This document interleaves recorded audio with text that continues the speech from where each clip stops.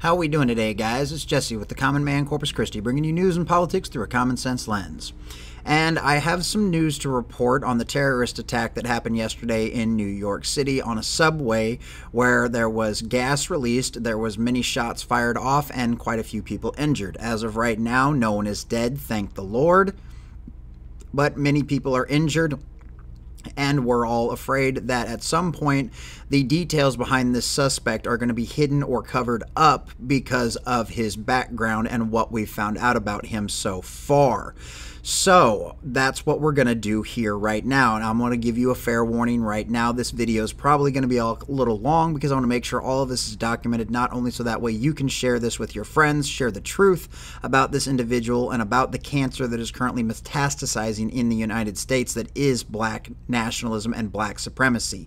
We need to talk about that. It needs to be known. It can't be ignored any longer because this is at least the third third attack in a very recent time, all linked back to black nationalism. This is something we need to be aware of. Racism in any form is never acceptable. It does not matter what the person doing it looks like. It is wrong no matter what. We have to document this and we have to call it out and we have to accept that it comes from all people of all shades and all sides, so that way we can call it out when it is happening and expel this pur and purge this evil from our society once and for all. But at the end of the day, just remember you still live in the ra- least racist country on the planet by every metric. So don't let this of these bad things get you down too much. We're here to document and make sure that no one ever forgets what's really going on and that we can spread the truth. So, we're going to go ahead and get into all of this real quick. So, we're going to go over Andy Ngo and his information that he's got on this because he's got a lot of really good information on the background of this man, Frank James. Um, but before we get into all of that, I want to remind everybody why this story matters because of the people that got injured and hurt in the process of all of this. And this young man here was one of those victims. And theblaze.com did a really good job of telling his story along with some information from CNN and the interviews they found for him. So, this is something we're going to go over, and then we'll jump back into the monster who did this and his background and potentially some of his motivations behind all of that. So, here we go. Man who sat next to Brooklyn subway shooter recounts moments before and after smoke bomb went off and gunfire erupted. Loudest thing I've ever heard in my life. And I can only imagine being inside of a subway with the sounds and the echoing of a gunshot going off. A man who was reportedly sitting next to the Brooklyn subway shooter moments before he unleashed violence and chaos on the train car offered a first hand glimpse of the harrowing experience during an interview Tuesday. From his hospital bed, 27 year old Hourari Benkada told CNN's John Berman that he was just on his way to work, minding his own business when he hopped on the N train shortly before 8:30 a.m. that morning. He sat down next to a man wearing a gas mask and what appeared to be a Metropolitan Transportation Authority get up.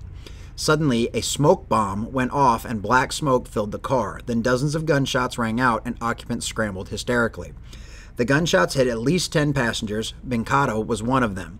A bullet entered through the back of his knee before grazing his kneecap and exiting the other side. This makes me want to never ride a train again in my life, Benkada said, shaking. I don't even know how I'm holding my phone right now.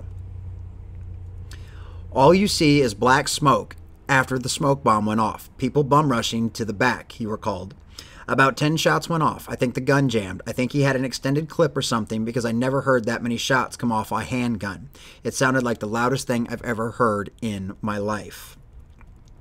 Benkada reportedly, a housekeeping manager at the New York hotel, at the New Yorker hotel, said that the shooting started. He heard a pregnant woman screaming for help, so he hugged her to shield her from the gunfire. There was a pregnant woman. She said, I'm pregnant with a baby. I hugged her, he added. The bum rush continued. I got pushed, and that's when I got shot in the back end of my knee. According to Benkada, the shooting went on for at least a minute before passengers were able to break the train car doors open and flee into the station. He noted the gun appeared jammed, which may have prevented further bloodshed. Bloodshed. This has since been corroborated by the investigators. God's little blessings. The survivor said he was not paying attention prior to the attack and thus did not get a good look at the suspect. I just had my headphones in my ear, my phone in my hand, and my mind and minding my business, my head down, head down, sitting down.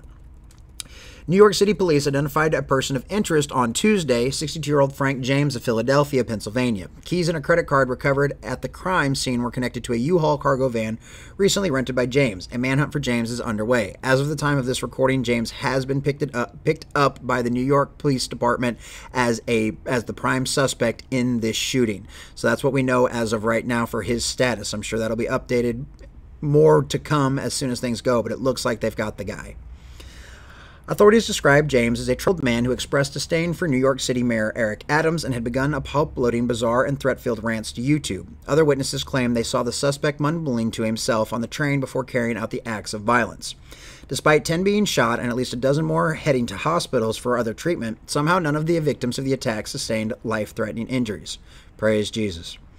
Benkada is reportedly expected to recover and to be able to walk again after spending a few weeks on crutches, but he said the pain from the injury is worst he's ever experienced. I didn't think it was serious till I got out of the train and I pulled my pants down, and that's when I saw the blood gushing out. So good on this guy for doing the right thing. Uh, I'm glad he's going to recover.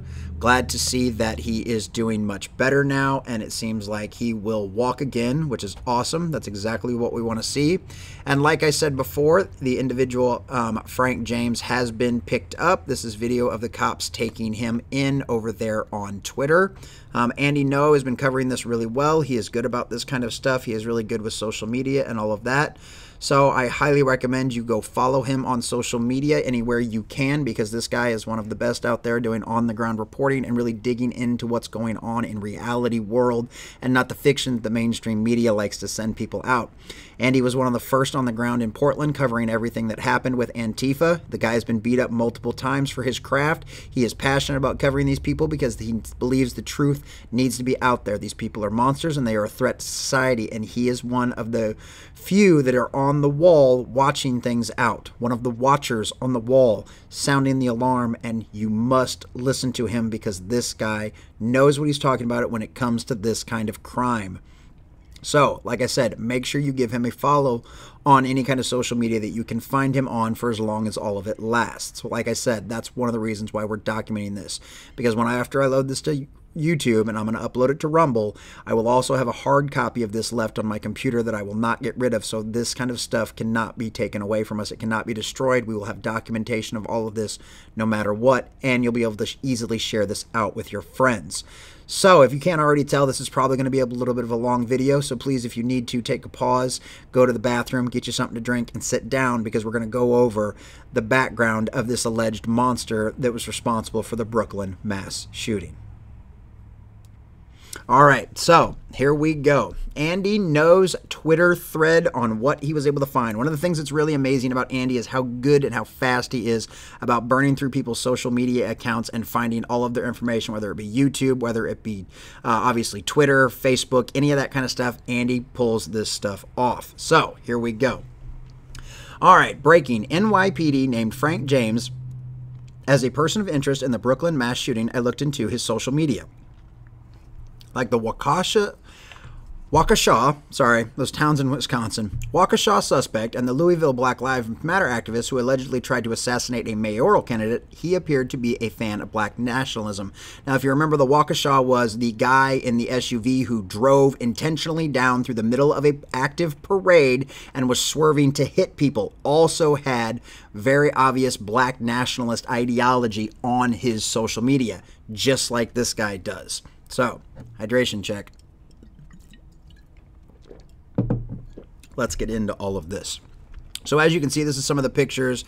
Black Lives Matter, typical kind of stuff. Um, this right here is from the Liberation, the Black Liberation Army. If you don't know who they are, basically think like the black version of neo-Nazis. They are all a bunch of racist monsters. Um, Messenger of Allah.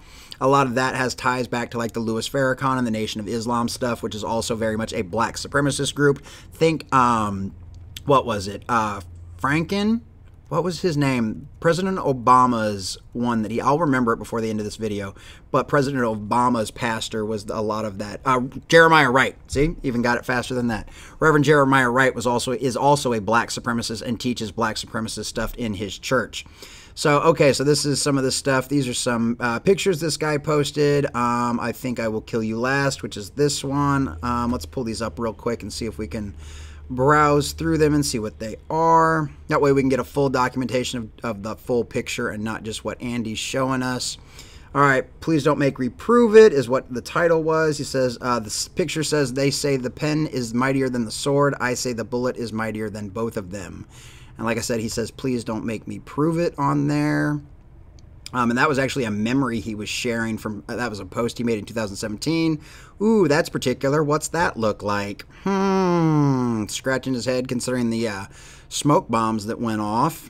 Um, and that's the one he said. Now that's just a meme. That one could not be much, but at the same time, um, oh, at the same time, it's one of those things that, given context of everything else he's posted, you know, well, you know, take it as you will. Um, this one's from the Black Star Press. Look them up. I bet you they're not wonderful people. Angela Yvonne Davis is an American political activist, academic, and author. She emerged as a prominent counterculture activist and a radical in the 1960s as a leader of Surprise! The Communist Party USA. All of this ties back to Marxism. I really do believe it is straight from the devil and is nothing but evil incarnate in an ideological governmental form. Um, NYP deleted this tweet. Tuesday morning, anyone with information on this whereabouts is asked to call. Oh, I wonder why they deleted that. Um, here we go. This is some more quotes from his social media. Of all things, remember this every mother effer respects a gunshot wound. Some more social media posts by Frank James, the PERT NYPD suspect of interest. He posted hatred of Trump and appeared to sort, uh, support black nationalism and Black Lives Matter. So let's go ahead and look at these pictures. So we know we have here. Okay, yeah, that's real happy and positive. How wonderful. Oh, and it's in one of his profile pictures. Wow, he was he wanted to make sure everybody saw that first thing about him, huh? Come on, pictures, change, change, change. There we go. If you say you like Trump because he speaks what's on his mind, the rest of us know that's code for I like him because he's a effing racist, and yeah. Yeah, typical uh, stuff from the other side. Everybody who liked Trump was a racist because, God forbid, you disliked lower taxes. Of all things, remember this. Every, yeah, okay, respects a gun. Yeah, we read that one off of Andy's stuff earlier. Let's see if we can get this last one to load up. You may not be able to beat him, but you can sure as hell shoot him. Yeah, yeah, this is a real stable, wonderful person, wonderful functioning member of society. You know, why is it all of these guys seem to have such amazing mental issues? I think that makes them easier to subject to this cult mentality. It's time for action. For years, Frank James, the person of interest in the Brooklyn mass shooting, has made references to shooting and killing people on his Facebook. So I think it's one of those things I don't think we're going to pull up everything. Yeah, nothing says "fu" better than some of these.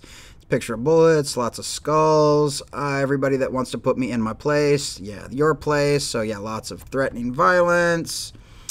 Um, Frank James, the person interested in the Brooklyn subway mass shooting, has many videos on YouTube discussing his militant black national views. He recently expressed disappointment that Justice Jackson Ketanji Brown is married to a white man. Okay, we're going to look at this. Hopefully, it doesn't screw up my encoding stuff too bad.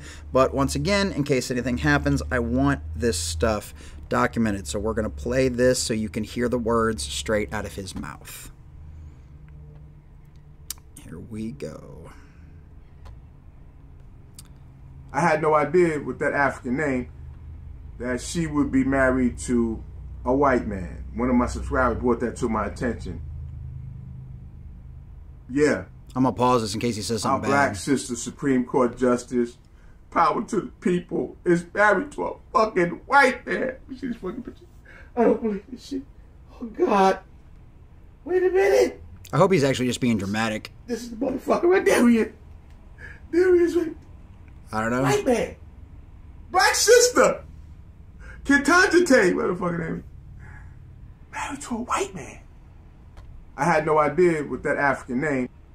So, yeah, that I definitely know people that are like that that have severe issues with that kind of thing and I will never understand it as if anybody anybody that knows me on a personal level or has watched my videos the entire way through knows. I come from a mixed race family. I'm half Mexican, my little sister's half black, my little brother's a quarter Korean and my little sister's 100% white white like wisconsin white okay? So yeah i always thought that was the dumbest thing in the world. I used to always think that by the time I don't know, in another 30 or 40 years, racism wouldn't even be a thing. Nobody'd even talk about it because we'd all just be different shades because we'd all be so mixed in that none of us cared about any of that stuff anymore. So here's another stuff. Um, oh, Black Jesus, please kill all the whiteys. Frank James, person, yeah, yeah, yeah. Also posted a prayer asking for whites to die. One of his videos is titled Once We Were Kings. And now, anybody that knows about where that kind of information comes from, a lot of that also stems from like the Nation of Islam and all of that kind of stuff. Um, the whole Once We Were Kings idea that they're actually the lost tribe of Israel, that they're the real Jews. Um, it's a lot of stuff that they talk about um, that are just not historically accurate in any way, shape, or form. And it's basically just something to make themselves feel more like victims because they think they've lost everything. So, hold on a sec. Yeah, there we go. We once were kings. There's that one. And then, yeah, here's the one. So, yeah, here's the one, exact one he was talking about. And of course, a picture of the absolutely lovely, isn't she gorgeous, ladies and gentlemen, Michelle Obama. Oh, yeah super, super, super nice looking lady. So let's just keep on going down through the rest of these. I don't think we'll highlight, we don't have to highlight all of them. I think we've pretty much kind of proven our point. Frank James, the person of interest in the Brooklyn subway, uh, number made a number of pro-communist and pro-Fidel Castro posts in the past. His most recent posts and videos have pivoted obsessively to black national interests. So obviously, yeah, pictures and quotes from Fidel Castro. Um, one of the videos posted on Facebook belonging to Frank James is entitled CILL Whitey. Frank James talked about a race war in many of his videos. He appeared to believe that blacks could not prosper among whites. White sep- black separatists. I hate that shit. We all are children of God, guys. We got to figure out how to get along. Frank James, the one, yeah, yeah, yeah, okay. Um, he a Twitter account where he posted support for black nationalist groups of Nation of Islam. He also shared video of Tariq Nasheed. So you can see that right here, Proof of Doom, Frank 15454. So same thing. Uh, Farrakhan tells the truth about who is the true leader of the Nation of Islam. Yeah, we're not going to go through all of that because we, like I said, I think we've already proven our point. Um, this was a video of him walking around um, the actual street. I guess just for documentation's purposes, we'll look at this video real quick. Um, I think we've kind of proven the point on all of this to anybody that's watching this. So, but like I said, I want to. Yeah, fuck you too. You see that shit all day, every day. You know? You see that shit all day, every day. White motherfucker gonna slam the door, like, you know, trying to slam, slam it in my face. Yeah, fuck you and your white ass too, you white mother racist motherfucker. Like who? They had to put that in for good luck. I don't get, listen. Yeah, what? white racist motherfuckers, yeah, they do exist. They do fucking exist. Look at me, in the in just in the darkest corners of your mind, Bubba. Like, uh, but like, I mean, what kind of person walks down the street and hate your guts too, just saying shit like this, that fucking piece of shit, and the ones accusing of being racist are always the racist. That was clearly a racist comment about Asian people. All right, I'm I'm done watching his videos. This is bullshit. I mean, it, it it's obvious this guy is a piece of shit and did this because of hate, absolute hate. And of course, of course, this is what I'm talking about. This is why I wanted to document this because of course the censorship has already happened. YouTube has quickly removed the main channel for Frank James, the wanted suspect in the yeah. He posted many videos over the years expressing black nationalism and anti-white views. His other channels are still up and should be analyzed, which I'm sure a lot of people have done. So, I think that's I think that kind of proves the point of everything I've said. Um, obviously, this guy is a black nationalist, has black nationalist views, and probably did this out of a hate for other races. And obviously, he doesn't just hate white people, he hates all races. And like a lot of his stuff is said, this guy does not believe the races should mix. This is the definition of racism. If you exchanged white for black in any of this, you would be on the cover of the New York Times and the first story on every CNN news show. Hands down on repeat. NPR would be covering all of this, MSNBC, it would be constant, nonstop on repeat. This face right here would be on the cover of absolutely everything you see and everything you watch. Every thumbnail from a left wing YouTuber. This is the face if he was a different color would be on the cover of all of that stuff.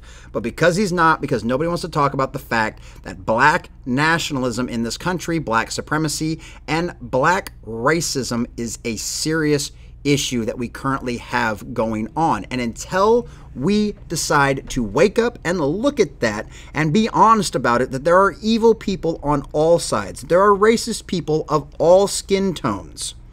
And until we understand that, we can never truly defeat racism. The word racism in our modern culture has been warped to mean something that is anybody who disagrees with me or who doesn't believe exactly what I do. Well, that's not it. That's not my definition. That's not, well, Oxford definition. I don't know about Webster these days. They change the definition on a fly.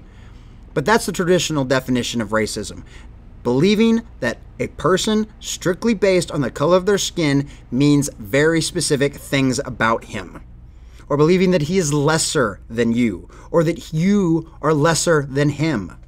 Those are racist ideologies. Racism has no place in the United States of America and it has no place in the world. And until we realize racism can be of any race towards any other race, we will never heal this and we will never squash it. So please help me squash this so our children can grow up in Martin Luther King's dream, the Reverend Dr. King's dream of being judged by the content of our character and not the color of our skin, no matter what color that is. But hey, guys, this is Jesse. That's just my common sense take. This is the Common Man, Corpus Christi, bringing you news and politics through a common sense lens. Thanks for watching.